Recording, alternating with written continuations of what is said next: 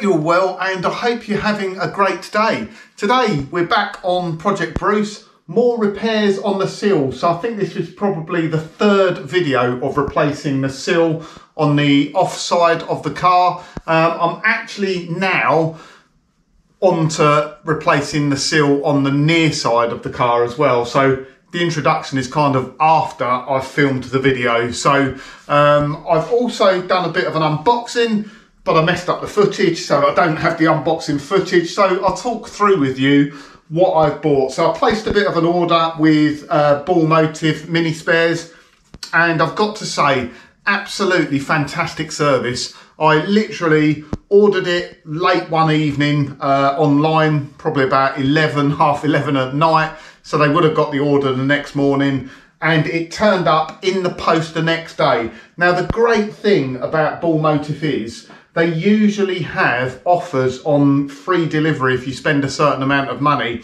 um, and you can make that work to your advantage. So as I've mentioned before, when you're trying to do a budget restoration like this, it, you know, what you end up doing is just placing lots and lots of little orders. And the problem is you just build up postage costs. Each time you're paying postage, it builds up, it ends up costing you a lot of money. Of course, when you're doing a no expenses spared restoration, it's very quick and easy just to sit there online and just keep adding parts to the basket. And obviously, when you don't worry about the money, you, you're able to order more parts in one go uh, and you, you know, effectively you're saving on the postage cost. The great thing about Bull Motif is if you spend a certain amount of money, they usually do free postage. So it's always worth just having a good think about what you might need in the future and looking at what offers they've got on at the time. So I'll just go through what I've got. So had a bit of a spend up, like I said. I have a Magnum repair section heel board for the offside rear.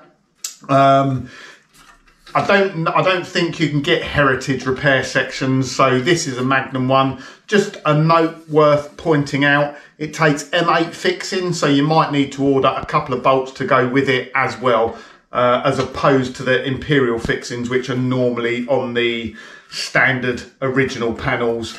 So um, yeah, heel board repair section. Great news is, I'll get into it in the next video, but it looks like the heel board on the other side is okay, but obviously I'm not going to know till I get that far. And a bit of a hint as to what's coming up actually. So I have another uh, jacking point repair section. So this is the jacking point for the near side of the car. And I also have a complete inner sill. Um, so they do two types of inner sill. Again, this is a Magnum panel. Um, they do like a I, guess it's like a repair section in a seal that has the cutout for the cross member. But as you will see on the other side, very much the same as the off side of the car. The jacking point has corroded to the point that um, it's no good and the inner sill has corroded behind it. So I need to replace the inner sill and the jacking point. So I've just bought the whole panel there. Um, also, like I say, just trying to bump the order up a bit because once you get over that sort of hundred pound parts threshold, you get free delivery, which is absolutely brilliant and it's quick. So I'm going to need a pair of teardrop mounts for the front when the front end comes off. So I've got them in advance. I have a two sets of ball joint repair kits for the front Again, I don't know what condition they are, but if it's all coming apart at the front, for the cost of the repair kits for ball joints, you may as well do them. Uh, I have all four brake hoses, front and rear. I don't know the condition of the brake hoses on the car. They might be absolutely fine, but for the cost of a set of hoses, the ones on the car, and obviously these are rubber, rubber perish, it's a vital safety item. So, you know, why not just replace them? I've got a set of rear subframe bushes. These are the genuine bushes as opposed to poly or, or sort of aftermarket harder type bushes. So they're the original ones. Uh, windscreen filleting strips. Um, you know, it's not essential, but the car just looks horrible with those ones on there at the moment and only cost a few quid. And obviously one of the next major jobs I'll be tackling is taking the rear subframe out Uh, I'll be replacing the rear subframe and I'm sure I might be doing a few other bits as well, like the radius arm pins. But I'm sure the handbrake cable will be no good and it's very, very cheap for a handbrake cable. So again, it's just a case of not mucking around. So I must say massive, massive thanks for Bull Motif Mini just for a really quick delivery. It's always packaged up perfectly okay. I don't get the same issues as I've had with other mini suppliers where you place an order, it's all out of stock and then you're just waiting on an order for weeks and weeks and weeks and they take your money at the point of order. Uh, no, every time I've ordered from Bull Motif, it's always been in stock. It's always turned up very quickly and been packaged very, very nicely. I must shout out as well, they also popped a note in there to say Happy Christmas. So Merry Christmas to you people at Bull Motif Minis as well. Um, so this obviously adds to the budget. So this is all about doing this for as cheap as possible, spending as little on parts and consumables so I can sell this car on at the end of it to a viewer or, or a subscriber and like I say, I'll be selling this car for what it owes me. So we're keeping a close eye on the budget and I'm not including my time is free. So someone's going to get a very good deal at the end. So uh, that order from Bull Motif, all these bits here come to £124. I've got to add that onto the total. It's around about, I guess, around about two and a half thousand pounds, but I will work it out and by magic, I will put the new total up there. So that is what the car owes me at the moment. I, I am keeping a track of hours, so I'll let you know how long I've spent on it at some point. Um, so yeah, let's just get into the next video. Uh, I hope you enjoy it. And uh, yeah, just once again, thank you very much, Bull Motif. If you want to use them, link in the description. I'm sure you won't be disappointed. Right then, welcome to the near side sill on Project Bruce. And this side I didn't look at very well, but I can see it's got open flutes on it. So I think it could be the original sill, or it's certainly an original type sill. It might have been replaced, but it's not an oversill. Um, it probably looks a little bit worse now than when I first looked at it. I really didn't look at this car too well when I bought it, did I? But like I say, it was so cheap, you know, what can you expect? So I have my corrosion assessment tool. I think we'll just go along here and uh, see how bad things are. I don't know how well it's going to come out on camera, but I can clearly see there's patches welded there. There's a patch welded around the jacking point here. Uh, there's a patch at the front there.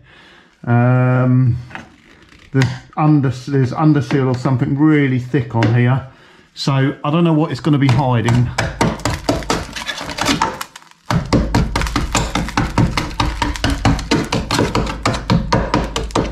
No surprise really, but it's obviously quite a bit crusty there. Plenty of metal falling out.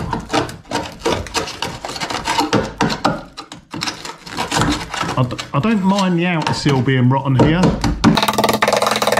Uh, yeah, there goes the floor as well. uh,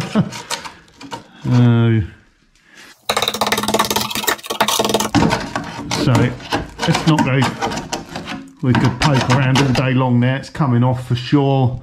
That's a patch. It's just what else is being hidden by thick undersealer. I have to try and scrape some of this off because it's going to be a pain. Well, that's quite surprising actually because you get back here and it don't look too, well, I don't know, it don't look too bad. I think I need to scrape some of this um, sealer off first. It's horrible. It's horrible. Well, that's interesting. We've got a plug here. Ah. Is it a Ziebart plug? Someone has uh, drilled a hole in there, maybe for the purpose of wax oil in it. Might be why it's not so bad at the back here. Problem is, as soon as you go forward, it just gets worse.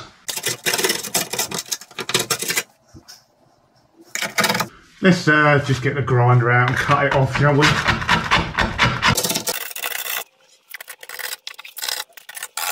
Well, from what I can see, this sill has never been replaced. It's had lots of lots of patches up the front here, um, but past sort of here, it's looking pretty good.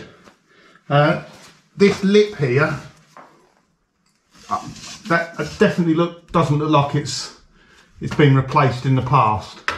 Um, and this here looks like they've drilled a hole to put wax oil in or cavity wax or something like that, which is uh, fantastic news.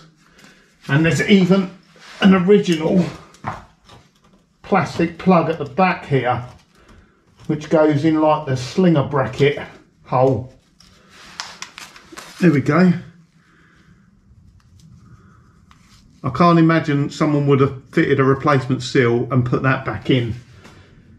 So we're not we're not going to faff around and replace half a sill or anything like that. But I do think this back bit is the original sill. Um, like I say, let's just get it off for the moment, and then we'll see what lies beneath.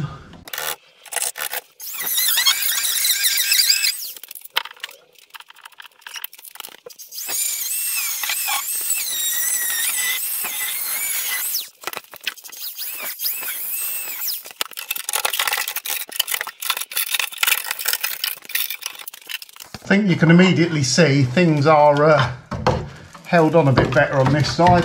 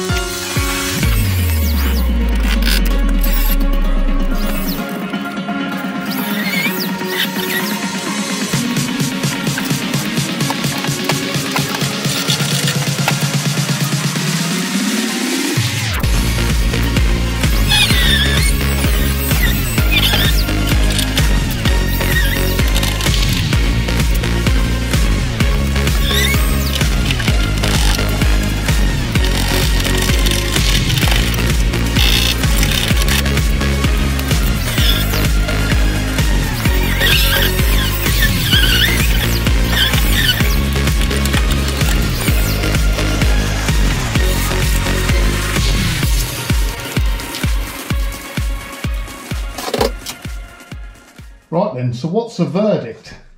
Let's start at the back. So at the back here, we still have the slinger bracket, which looks to be in pretty good condition. Like I thought, this has all been waxed inside here. This is all wax, so it's preserved pretty well. I managed to drill all the way through on a spot weld there, but that's not too much grief. Uh, I've already looked inside the back. I've checked the subframe bolts and they come out beautifully. I haven't lubricated them or anything. You can just see they're nice clean metal in there. Heel board doesn't look like it's been touched. And as you can see down here, it has been all waxed in the past, which has preserved this pretty well. As we go forward, it gets worse. So do you think it's better or worse than the other side? So we get down as far as the jacking point. Now I have, um, I've cut the jacking point out. It wasn't very good and same problem as the other side. Inside of the jacking point, it's just corroded through. Um, there's a few bodges I've noticed. So if we look up here, you see that that is a lump of fiberglass. So someone's pugged up the inner doorstep. You can see there's a couple of holes there. So that doorstep, I'm glad one Chish gave me more than one. I don't know whether it's the right side on this side, but it doesn't matter because I'll only be using the inner bit. Um, and then there is just more towards the front here on this side. So it's going to want a bigger repair section actually. It's going to want a repair section which goes pretty much, I guess, from here all the way to the front. You'll notice at the front, again, the slinger back bracket is still there. Um, I'll probably have to cut this out though to weld up behind it. But these are not structural at all. They are just there to, I think they're there to hold it onto the production lines. There's a couple of bolt holes that go up through there. Um, yeah, they're, they're not really functional. Again, I will stick a jacking point back in. It's a very similar repair though. It's a bigger repair section here. So, uh, but the good news is, I don't know how well you can see on camera, but up the top of it is shiny metal. So up here is shiny metal, uh, which means rather than cutting the whole lot out, because if you imagine, if I cut the doorstep out, and then I cut a whacking great big section out there. Again, I'm going to be in that situation where the car's just going to fold in half. What I can actually do is probably cut about an inch below the doorstep, weld all this panel in, uh, get all that welded in um, before I then take the doorstep out, and then I'll take the doorstep out and then do the jacking point. So things ain't too bad this side. Certainly at the back here, it's in brilliant condition. Um, so, yeah. Do you know what? When you're trying to do a budget restoration like this, one of the things you can save money on is postage. And I really should have ordered two jacking points, shouldn't I? Because um, I'll order another jacking point now and I'll have to pay postage again. So, but it's hard to know what you're going to need. If you just order it all up front, I'm sure you'll probably order some stuff you don't need. So there's the sill. Like I say, that is the original sill from what I can tell. Um, and yeah, it just gets progressively worse as you go towards the front. That's obviously the outside of it. If I turn it over and look on the inside, uh, again, we've got some bits here towards the front where they've overlapped the weld. So um, this has been overlapped on the outside. In fact, you can see the weld lines there and they're just overlapped on the inside and of course that's just continued to rot away on the inside. So again, not great repairs. Uh, and then again, as you get towards the back here, you can see it's all waxed. So yeah, at some point, um, someone waxed that and that, that sill's done pretty well to be honest. I know it's been repaired a little bit and there's that plastic cap I was talking you, which goes in the back in the thread hole for the slinger bracket. So, yeah. Um, yeah, I guess as to be expected this side. Um, it could have been better, it could have been worse. That's the inner doorstep, which as I say, has been pugged up. They've put some fiberglass in there but that's not the end of the world because to do that jacking point like the other side I'm gonna have to take the doorstep out anyway hopefully I should be able to unpick the spot welds along here. Probably not going to be easy as easy to get off as the other side because this is the original sill so that would have been held on much better. I won't be able to just wiggle it off like I did the other side. So, um, yeah, let's keep going. The next big job I'm going to tackle is replacing this inner sill I'm not going to do the whole lot because from about here backwards, it's absolutely fine. And as I might have mentioned before, I, you do run into problems doing a restoration on the floor like this as opposed to being on a jig where, you know, you can't, you just can't cut huge chunks of metal out without affecting the structural integrity of the car. So things like the doorstep need to come out, um, the inner sill needs to come out. If I take it all out in one go, there'll be uh, nothing left to keep any strength in the car. So kind of have to do it bit by bit. Uh, this inner sill, I wasn't expecting that to be honest. So when I looked at the car, obviously this gaping great big hole here, which I poked through, was underneath all the sound deadening. So yeah, I obviously hadn't seen that part. Aside from that, it's been patched at the front here. Um, it doesn't look like there's multiple layers there, although I will check that. Um, but the job for today, or the job in a minute, will be to cut this inner sill out. Um, because the sill is the sort of the top inch of it is all good clean metal all the way along, I shall cut this line along here uh, back to where I need to get to.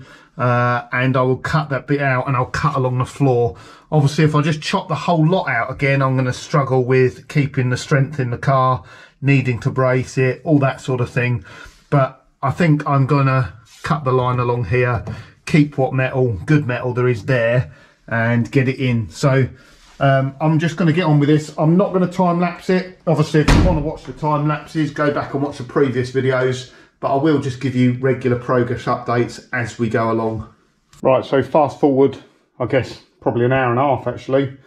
That is the bit we've cut out of the inner sill um, as I say, I went up here to the point where I started finding clean metal again. You see there, it's nice shiny metal. Um, and then I have cut out my repair section. So that is a copy of that. You'll see I've drilled the holes here because I've got to plug weld these holes where it goes through the cross member. And we've got weld through primer on that inside there because that goes inside the box section. Um, to be honest, that was probably, well, I say probably, it's an expensive way of doing that. That inner sill cost me 18 quid, I think. Um, no, it might have been more than that. 21.70. I think I'll get a little bit of discount, but I could have just bought some sheet steel and folded it over to be honest. Although I won't get these dimples impressions in it so uh, yeah. Um, on the car. So that's all nicely cut out now and it's just ready for that new bit of metal to go in and that'll be the inner sill done. One big section rather than a couple of patches like it was on the other side. So it's a bit neater um, but it's very much a similar sort of repair as what was needed on the other side of the car. So I've just got to get that welded in now. Um, just for one of the subscribers asked me about the floor, if the floor burns where you get weld spatter. Yes, it does, which is why I've got I've got a couple of old bits of board here. Um, there's the old door skin under there, metal skin. Um, obviously, this burns as well. This is only wood, but it just protects it a little bit. Um, it doesn't it doesn't burn holes in the floor, but you get burn marks on there, which don't come out. Right, let's get this welded in.